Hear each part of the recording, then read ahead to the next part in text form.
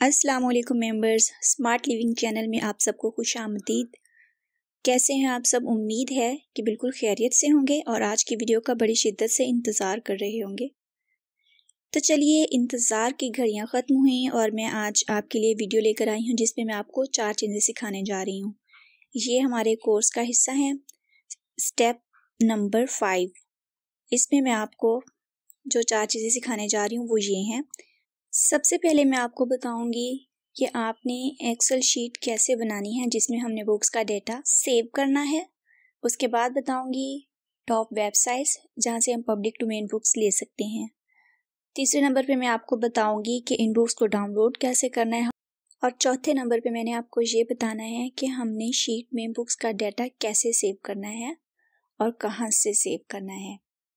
सबसे लास्ट में मैं आपको कुछ टिप्स दूँगी आपके चैनल की अच्छी ग्रोथ के लिए।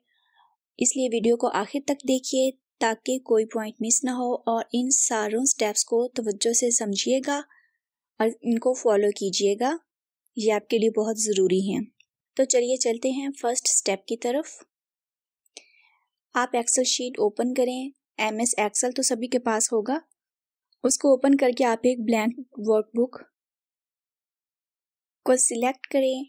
और सबसे पहले हमने जितनी बुक्स की शीट तैयार करनी है, उतनी रोज़ सिलेक्ट करनी है और क्यू तक हमने कॉलम सिलेक्ट करने हैं।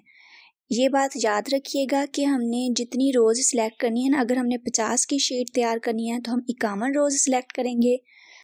क्योंकि फ़र्स्ट रो में हमने शीट की डिटेल देनी होती है, इसलिए वो एक एक्स्ट्रा लेंगे और बाकी उतनी रोज़ लेंगे जितनी हमने बुक्स का डाटा कलेक्ट करना है। मैं यहाँ पर सैंपल के तौर पे ग्यारह रोज़ और क्यू तक कॉलम्स सिलेक्ट करने लगी हूँ। अब आपने क्या करना है? इन सबको पहले यहाँ इस जगह पे बॉर्डर्स का निशान दिया हुआ होगा। इसको बॉटम बॉर्डर बोलते हैं।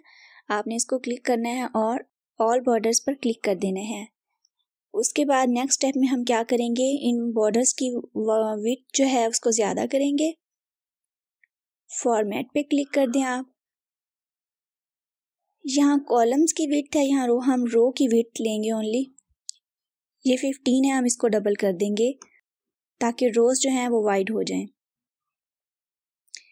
ये वाइड हो गई, अब हमने बोल्ड करेक्टर को सिलेक्ट कर लेना है यहाँ पर। अलाइनमेंट वाले ऑप्शन में ये सेंटर में आपने दोनों चीज़ों को सिलेक्ट कर लेना है। और यहाँ ये आपको ए बी सी लिखा हुआ नज़र आ रहा होगा। ये रैप टेक्स्ट है। यहाँ जो भी हम टेक्स्ट कॉपी पेस्ट करेंगे तो वो रैप हो जाएगा ऑटोमेटिकली इसको भी आप सिलेक्ट कर लें। यहाँ पे हम लिख लेते हैं नंबर यहाँ टाइटल इस जगह पर ऑथर फ़र्स्ट यहाँ ऑथर टू कुछ बुक्स में हमें बुक के कंट्रीब्यूटर या ट्रांसलेटर का नेम लिखने की ज़रूरत पेश आती है तो इसलिए मैं एक एक्स्ट्रा कॉलम ऐड करने जा रही हूँ कंट्रीब्यूटर के नेम से। नेक्स्ट कॉलम में हम लिखेंगे डिस्क्रिप्शन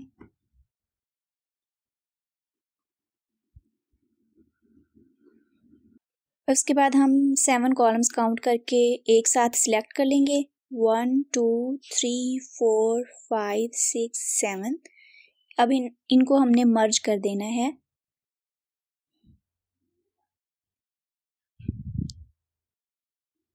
और यहाँ पर हम एक ही दफ़ा लिख देंगे सेवन और यहाँ हम एक ही दफ़ा लिख देंगे सेवन कीज़ ये कॉलम है हमारे पास कैटेगरीज के लिए. कैटेगरी वन यहाँ लिखेंगे और कैटेगरी टू यहाँ. सेकेंड लास्ट कॉलम हम राइटर की बायो या बुक बायो, या ओनली बायो लिखते हैं आप। बायो, और एक कॉलम एक्स्ट्रा आप छोड़ देंगे ताकि बाद में अगर किसी बुक में किसी, कोई न्यू इशू आता है, या वो कोई न्यू डिटेल मांग लेते हैं तो ये कॉलम हम एक्स्ट्रा छोड़ देते हैं और इसमें एक्स्ट्रा डिटेल लिख देते हैं। हमें ये डिटेल समटाइम देना पड़ जाती हैं किसी बुक की तो वो हम यहाँ पेस्ट करके अपने पास सेव कर लेते हैं। अब इसके फ़ॉन्ट की थोड़ी सी फॉर्मेटिंग कर लेते हैं इनका साइज़ थोड़ा सा बड़ा कर देते हैं और स्टाइल हम बोल्ड स्टाइल ले लेते हैं। एरियल ब्लैक ठीक है।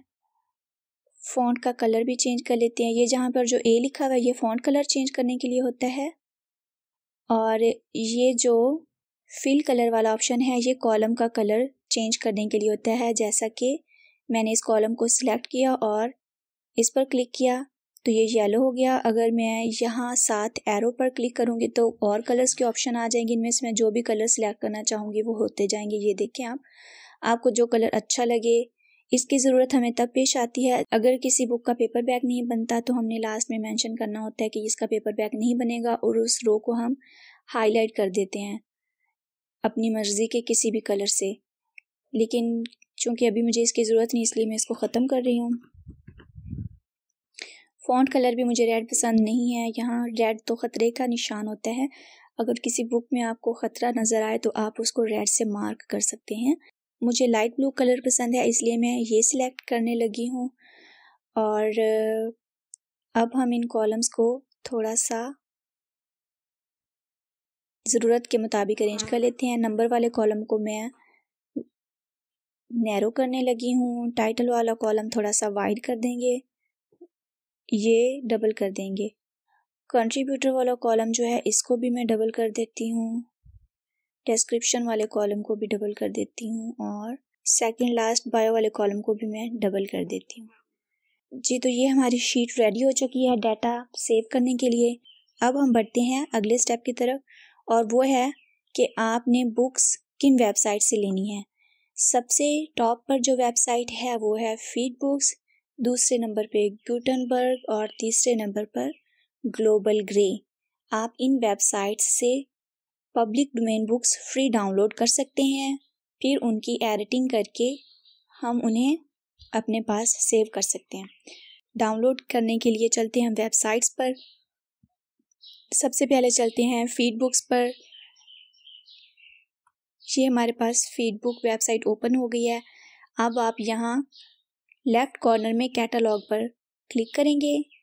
यहाँ बहुत सारी कैटेगरीज नज़र आ रही हैं बुक्स की। हमने किसी और को टच नहीं करना क्योंकि वो हमारे काम की नहीं है। हमने सिर्फ़ पब्लिक डोमेन पर क्लिक कर देना है। अब पब्लिक डोमेन में बुक्स जो हैं, ये देखें आपको नज़र आ रही हैं। ये फ़िक्शन, ये नॉन फिक्शन और ये मोस्ट पॉपुलर, फिर ये सबसे लास्ट में रिसेंटली एडिड। आपने इनमें से कोई भी एक कैटेगरी सिलेक्ट करनी है और यहाँ राइट कॉर्नर पे आपको लिखा हुआ नज़र आएगा शो ऑल और ये राइट साइड पे नज़र आ रहा होगा शो ऑल हम सिलेक्ट कर लेते हैं फिक्शन को। फिक्शन में मज़ीद कैटेगरीज आ गई हैं शॉर्ट स्टोरीज़ हैं साइंस फिक्शन है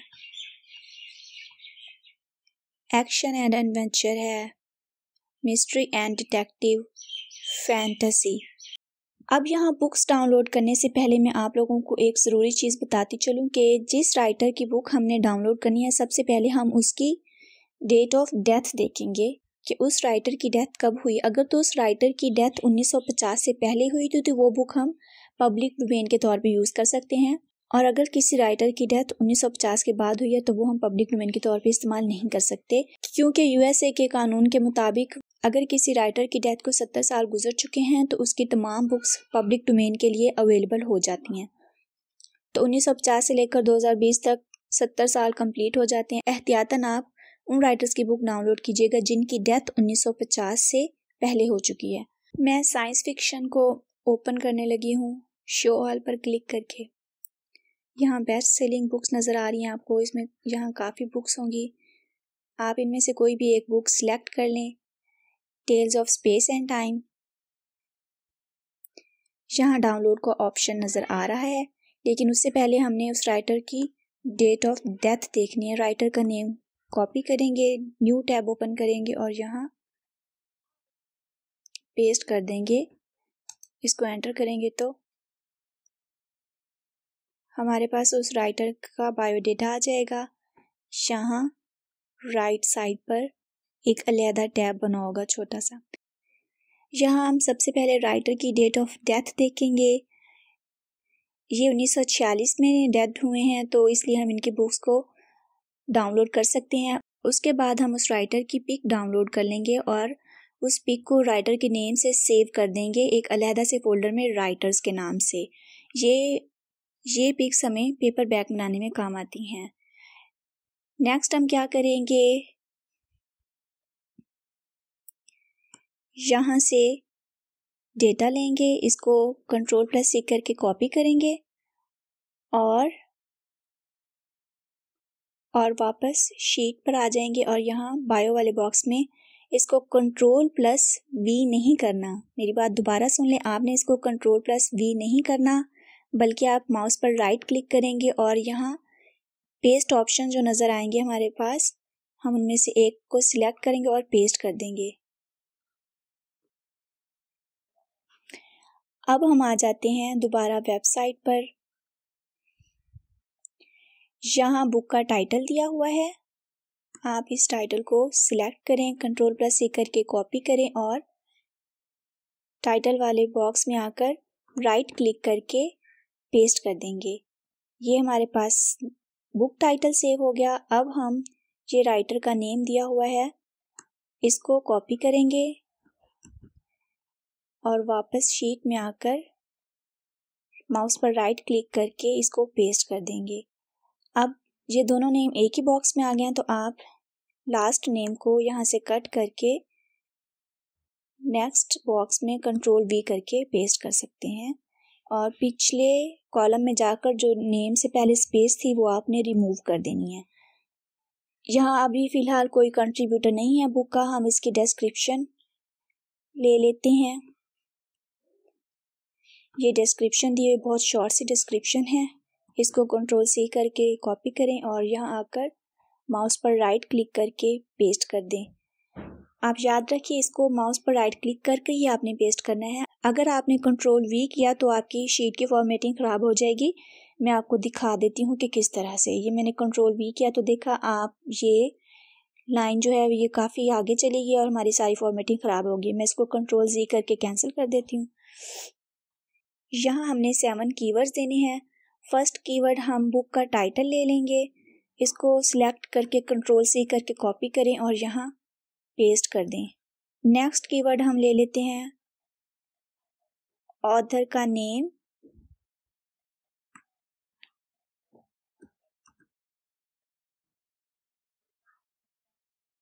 राइट क्लिक करके पेस्ट करें और इसको डबल क्लिक करें और साथ लिखते हैं आप बुक्स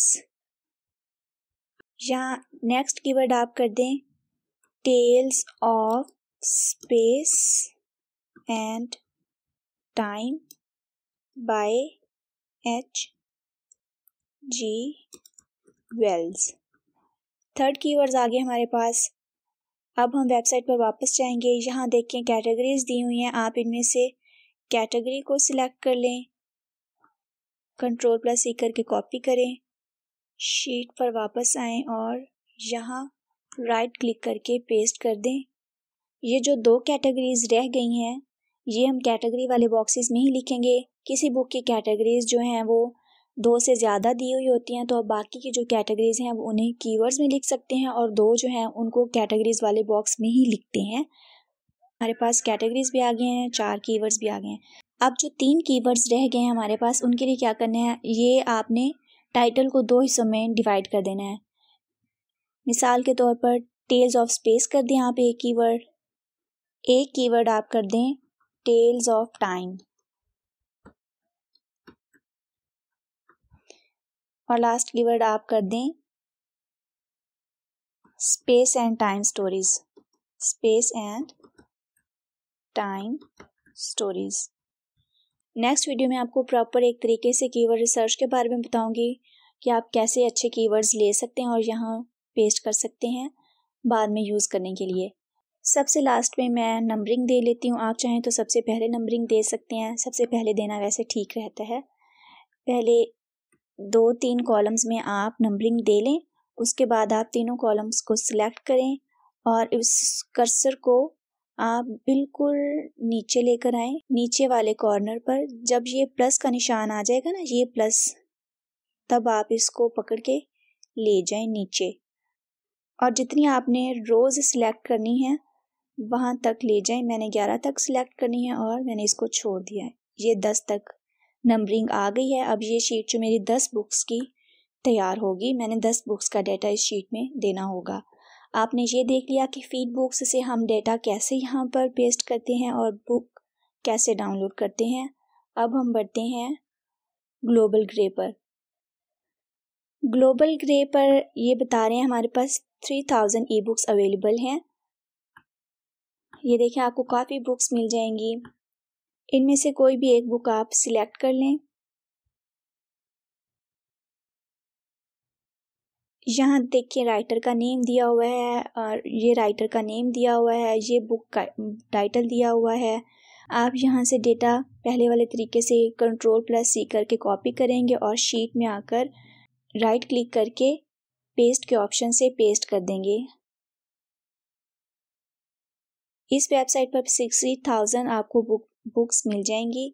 यहाँ से बुक्स निकालने का तरीका क्या है? ये देखें, यहाँ पे सिर्फ़ एक लाइन आपको बुक्स की फ़र्स्ट पेज पे नज़र आएगी। बुक्स आपने कैसे निकाल, इनमें से कोई भी बुक सिलेक्ट कर लें आप। फिर ये देखें, यहाँ प्रोजेक्ट गुटनबर्ग है जिस पेज पे हम ऑलरेडी मौजूद थे पहले। ये वो पेज है जो अभी हम पीछे छोड़ के आए हैं। ये देखें, ये नेक्स्ट पेज है। इसको आप सिलेक्ट करेंगे तो आपके पास बेशुमार बुक्स ओपन हो जाएँगी। इनमें पॉपुलर हैं लेटेस्ट हैं और रैंडम हैं। हम पॉपुलर या लेट लेटेस्ट को सिलेक्ट कर लेते हैं। अब यहाँ जो बुक आप चाहें उसको डाउनलोड कर दें। नेक्स्ट यहाँ यहाँ ट्वेंटी फाइव पेजेस हैं, आप नेक्स्ट करते जाएँ, हर पेज पर बुक्स दी हैं। इसी तरह आप बैक चले जाएँ। यहाँ लेटेस्ट में भी बुक्स की बहुत तादाद है रैंडम में भी पॉपुलर में भी। तो आप जितनी चाहें बुक्स यहाँ से डाउनलोड कर सकते हैं। Women in the golden ages इस राइटर की यहाँ पर, इस वेबसाइट पर सारी डिटेल पहले से दी होगी। यहाँ पर बताया होगा कि ये पब्लिक डोमेन बुक है, इसको आप डाउनलोड कर सकते हैं। आप ये भी दे सकते हैं कि लास्ट वन मंथ में वन सेवेंटी सिक्स पीपल ने ये बुक्स डाउनलोड की हैं। आपने यहाँ ई पब विद नो इमेजेस ये वाली बुक डाउनलोड कर लेंगे। इस पर क्लिक करेंगे, ये हमारे पास बुक डाउनलोड हो जाएगी। ग्लोबल ग्रे से हमने बुक कैसे डाउनलोड करनी है? यहाँ ये ऑप्शन नज़र आ होगा डाउनलोड ई पब आपने ई पब फॉर्मेट में बुक्स डाउनलोड कर लेनी है। ये था मेथड बुक्स डाउनलोड करने का और वेबसाइट्स और एक्सेल शीट आपने कैसे बनानी है और फिर उस एक्सेल शीट में डेटा कैसे देना है। सारे स्टेप्स आपको समझ में आ गए होंगे। सबसे लास्ट में जो मैंने आपको ज़रूरी बात बतानी थी वो ये है कि आप अपने पीसी में ई पब फ़ाइल रीडर को इंस्टॉल कर लें। इसकी हमें ज़रूरत पेश आएगी। और कैलिबर सॉफ्टवेयर जो है इसको आप इंस्टॉल करके रख लें। इसमें मैं आपको नेक्स्ट वीडियो में बुक्स एडिटिंग का तरीका दिखाऊँगी। मुझे उम्मीद है आप लोगों को अच्छे से समझ में आ गई होंगी सब बातें। आपके अकाउंट की अच्छी ग्रोथ के लिए ज़रूरी है कि आप डेली अपने अकाउंट पर पंद्रह से बीस बुक्स लाजमी अपलोड करें। स्टार्टिंग में पंद्रह से बीस ठीक है और बाद में आप दस से बारह बुक्स भी अपलोड करके अपना काम अच्छे से कर सकते हैं।